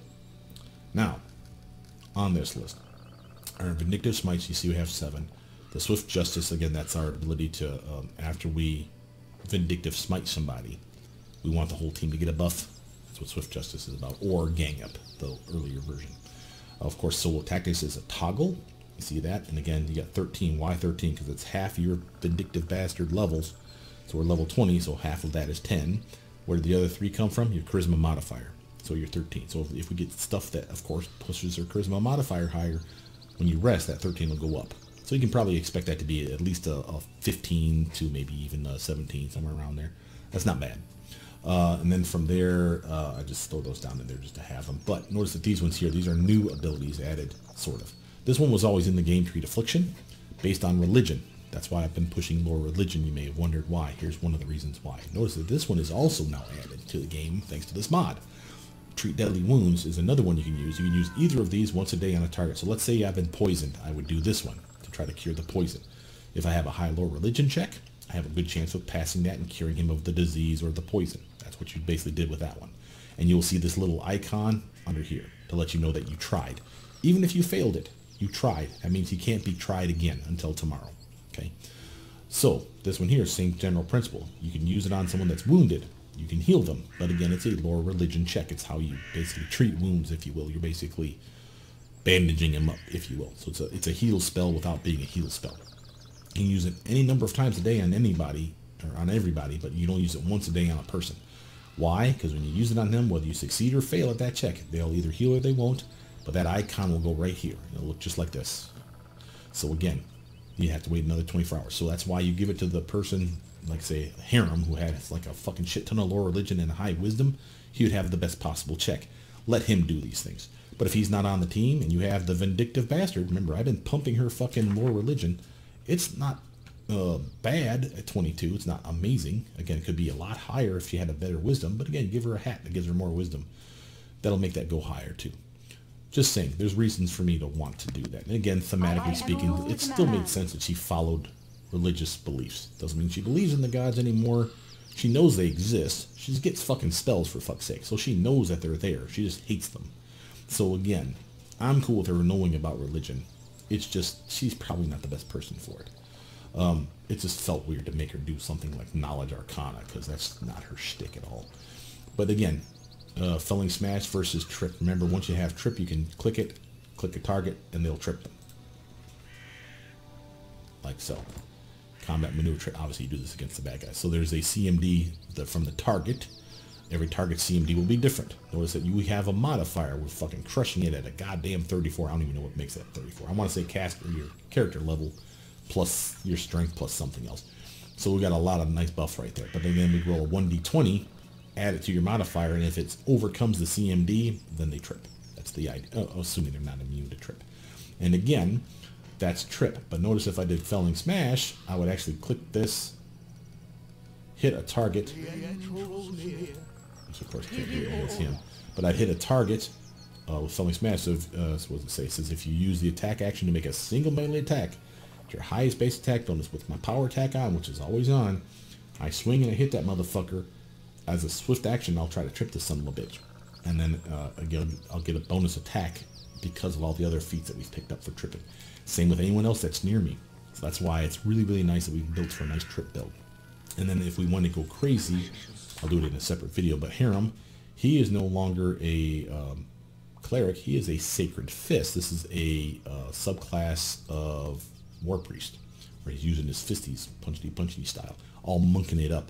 And he's fucking awesome really very fun, I must admit. Uh, but because he's an unarmed striker, he could get the um, the vicious stomp ability, and you need improved unarmed strike, which he has, and you need to have um, like a specific amount of bad. You need combat expert, uh, not expertise, combat reflexes. So as long as I give him combat reflexes, and he has that un improved unarmed strikes, which he does have at default as the type of war priest that he is, he can grab the feat called Vicious Stomp, which means after someone gets tripped on the goddamn ground, ah, again, like uh, this, if he was standing near them, as soon as he fell on the ground, Harrim would do a fucking attack of opportunity and stomp him on the head. it's just fucking cool, man. Just saying, it, you could have some serious fun with this, and I, and I love the way the modder has changed the characters. So again, just to briefly say, he's a Sacred Fist. She's now a Vindictive Bastard with new stats here. She's still a uh, Barbarian, but no, she's an Invulnerable Rager, a different class of Barbarian, which is fucking cool, and they probably shuffled her stats a little bit. Uh, my personal favorite is, in fact, Octavia. When you get her, she's no longer a rogue. When you used to pick her up, she had to be level 2. She was a level 1 wizard and a level 1 rogue. The modder said that's bullshit. So they said she's a level 1 exploiter wizard, which is a different kind of wizard new thanks to this mod. Uh, and that's when you pick her up at level one. Now she may be two levels in by the time you pick her up. You may be able to level her to level two immediately, but there is no guaranteed rogue level one anymore. I went that way because again I was still going to take her arcane trickster, but you don't have to. If you wanted to keep her exploiter wizard, you could take her all the way to 20, baby. And I thought that was cool. And they changed her stats dramatically. Her dex, for example, is kind of crap. Her intelligence is through the roof. I think that was normal. The charisma is decent, and again, that's the stat she cares about for being your advisor, so that's fine. But her dex uh, used to be much better. I want to say like a 17. Uh, and her con used to be much worse. It used to be like an 8. They're like, fuck that. So they gave her a con of 12, which is fucking cool. So again, for what she is, she's very, very good now. And I, I appreciate the fact that they changed that up. Uh, and not just her. Uh, while she's still an Inquisitor, and there's a lot of changes to Inquisitor, so what? She's still an Inquisitor proper. But look at her stats. They're definitely different. She never had a dexterity of 20 fucking 2. That's awesome. She's actually built, and, and you'll see with the fact that her very first feat that they gave her was point blank shot. She's clearly now a ranged attacker. She still has her scythe. She still has strength to wield that scythe. But you're probably better off switching her to a goddamn bow or crossbow or some shit and fucking taking her in the back ranks. And while you may say, but she's a teamwork feat person, because look at all the cool teamwork feats she gets for free as an Inquisitor Shouldn't she be in the front ranks with Valerie? No, because remember, she A has, where's it at? Solo tactics. And unlike uh, Valerie, which has a toggle, this is always on for her. Uh, but she could stand in the back ranks and help uh, Jubilost and um, let them get some fucking teamwork feats. There's some good ranged teamwork feats now that they've added. So again, those three could be the fucking back rank and just fucking peppering people with bows and crossbow bolts and everything else, man. Just having all kinds of fucking fun. So I dig this, and I think if you guys are interested, I will do one for each of the new uh, characters because they are different. Even with them being extremely similar, I'll still show you what, what could have been happened at level one and how I would build them. So if you guys are interested, post down below or just like the video, and I'll know that this is something you guys are interested in. I think this is a fun character, and again, when you gear her up, make her tough. She's going to swing like a brick shit house. And just to show you uh, a, a, quick spell use here. Um, yeah. Let's give her uh, Shield of Faith. Blessed Weapon going. I'll do the Divine Favor later. Image. To bestow grace, but I'll do that on Octavia. Blade Tutor for herself.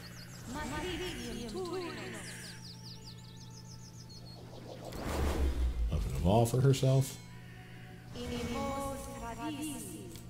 Let's grab ourselves delay poison for the team. Displacement. Notice the um, greater magic weapon. I have two choices because I grabbed the sword up one. This is the one from Call of the Wild because this is why you want this one because here's for your uh, main hand, for your offhand. See on the top of the tooltip there? Greater magic weapon offhand. Greater magic weapon. This is the one you want. And the only reason that matters is because if you wanted to do like two weapon fighting. Well, we'll give her Death Ward, sure, why not? Greater Angelic Aspect. And I'm not going to do Divine Power or the other one. I want to show you why.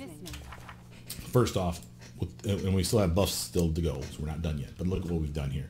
So here's our Blade Tutor see the plus four? That's because of this minus 6. Okay, if it was minus 3, it wouldn't go plus 4. It'd be minus, it'd be plus 3 because it only goes as high as it can go, no greater than the number that's up here. But there's two numbers that we have. Not only do you have power attack, but she also has the ability, we didn't turn it on for some reason, or it's not kicking in. That combat expertise is not kicking in until we go into a fight.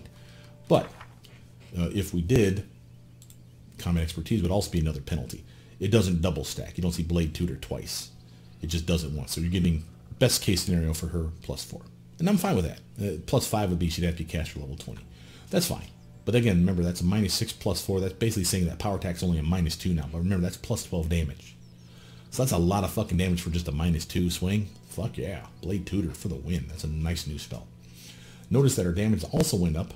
Uh, I, I, don't like that they don't have a breakdown of your damage, by the way. Uh, for anyone that has uh, the ear of the mods, I love how this is, is explained. You know, like you can add it all up and, and, and within reason, this should add up to your total. You should see that. I wish they would do that for damage. I really think that'd be an easy enough thing to do where they'd say you're getting a plus one from this, a plus 10 from that, a plus, so you can monitor it and say, oh yeah, oh, yeah, that's because of my strength. Or, or, oh, it's because I'm wielding my, my longsword one-handed and now I'm getting extra strength bonus. Because right now with a strength of plus 10, she's getting plus 10 damage. Because of the power attack we saw over here, minus 6, that's 12 more damage. So 10 and 12 is what, 22. So where's the 6 more coming from? Well, we made it a magic weapon, did we not? Plus 4. That's another plus 4. So we had 22 and 4 more, and now we're at 26. Where did the other two come from? See, Weapon of Awe. That's another two points of damage, remember? Two sacred bonus on all damage rolls, and the target is shaken for one round on critical hits. We have our blessed weapon bonus. We got our good aligned weapon. Uh, and our static temporary plus four enhancement that came from our um, greater magic weapon that we cast on it. So again, solid, solid buff, solid, solid swing, solid, solid damage is my point to you. And again, that's a lot of fucking damage. That 1d8 is who gives a fuck. It's the 28 that's like, yeah. And if you think that's impressive, uh, switch her from that to two-handed swinging. Just make sure it's refreshed. See the 39 now? Where'd that come from? It's not 10 anymore. It's 15 because she's two weapon, uh, two-handed wielding it because she can choke up on that fucking bat, so to speak. And the power attack, instead of it being uh, minus 6 plus 12, it's minus 6 plus 18.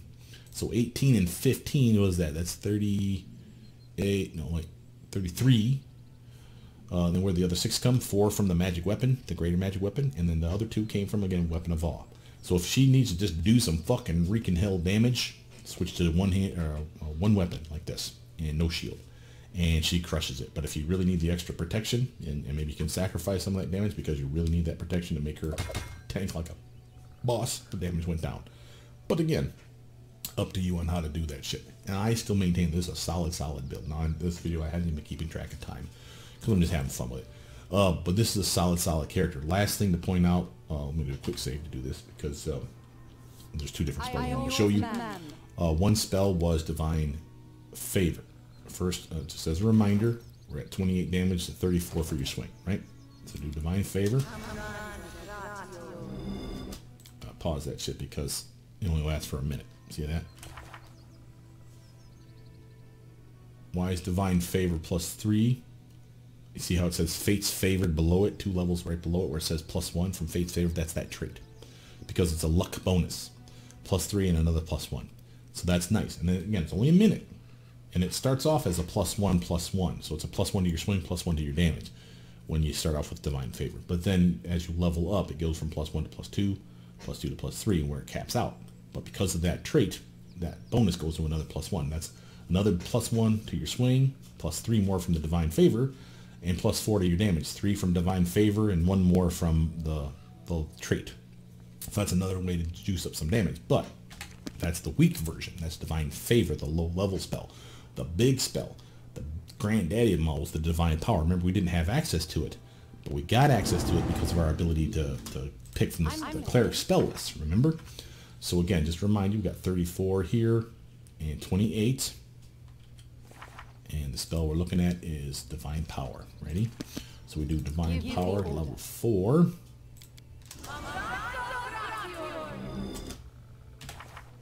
Again, doesn't last long. Lasts longer than the other, at least. One round per caster level, and your caster level 19. But, how is our bonus? Plus 6. It should be plus 5, but it's plus 6 because of that trait. Remember the um, uh, magical knack? We should be caster level 17. That would be a plus 5 here. But because we're caster level 19, we actually juiced it all the way up to its max, which is plus 6. But we got another 1 because of that Fate's Favored trait. So now we're actually up to a plus 7 for our swing, plus 7 to our damage plus 7 to our strength check. So if you did a strength check where you get a plus 10 to it, technically you're getting a plus 7 more on top of that now. So you're at a 17 for your strength check with this character with Divine Power running. We also get an extra attack. Remember the, the free attack? We also got 10 HP equal to our caster level. Caster level 19. You can see it right there. Then our athletics check went up. Uh, although it's not giving us a plus 1 on here. That seems weird. I was kind of hoping that'd be a plus 7. Oh, well. It's only a point. I don't really care. But it, the point is, is Divine Power is a really, really good upgraded version of Divine Favor. And they don't stack, so you can't cast both and, and think you're awesome. Um, having said that, like I said, I usually keep, just for a last a little bit of knowledge here, when I play a character like this, I usually keep a Divine Favor in my back pocket and a Divine Power for the big fights. Divine Favor, so like you get jumped in the forest. Well, I don't want to, I want to have a nice bonus to my swing and a bonus to my damage. I don't want to use Divine Power because I only slot it once because I don't have many spells per day. But I can cast Divine Favor, and that's good enough, because it's still a plus 3, or in our case now a plus 4, to our swing and to our damage. And that's close enough. And for a minute, that's a quick skirmish. Divine Favor, choppity choppity. Bad guy's dead. Proceed to the fucking dungeon, where you will activate Divine Power and go to town, killing all the bad guys that way. So again, I think it's a solid build. I think for the character of, of what we've done, just to to reemphasize our uh, points here, we start off with shield focus and combat expertise, which we did not have a choice in. We grabbed a great fortitude, trip, uh, where's it at? Tandem trip at the same time. We got spell vulnerability, abjuration. At the same time, we get that spell vulnerability. We picked up steadfast personality and power attack at the same time. Uh, so that's not bad. And then here we got outflank, greater trip, back to back, felling smash, improved combat expertise, shield wall, weapon focused longsword, shake it off, and unsanctioned knowledge for the vindictive bastard. We got our additional traits, which were uh, we took envy as an emotional drawback. We took a magic trait called magical knack, a faith trait called fate's favored, and a regional trait called wanderlust.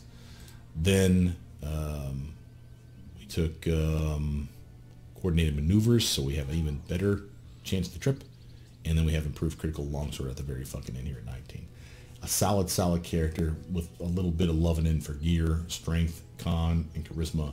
She will do what you want her to do. She'll be tanky as hell. She has some spells, some nice spells for herself, and the team if needs be. Again, I love the fact that she can cast Delayed Poison Communal for a fucking hour on the team because that frees up my other casters to, to cast the important spells, you know, stuff that can protect a team with like resist energy or protection from energy, or maybe they just want another bone shaker or bone shatter, you know, whatever spell they could get at that level. And I think that's cool. She's now a very good teamwork companion, so it works well with Jaethal, but doesn't have to be because of her solo tactics. And I think you guys will like this build. But with that, my name is Brother Mute. Please like, subscribe, comment down below. Tell me if you guys like these videos. Do you want me to show you what these other characters with the new builds that came from the modder, what I think would make a good build. If so, just like the video and I'll uh, start doing the other ones here later this week. But with that, I'll see you guys soon. Bye now.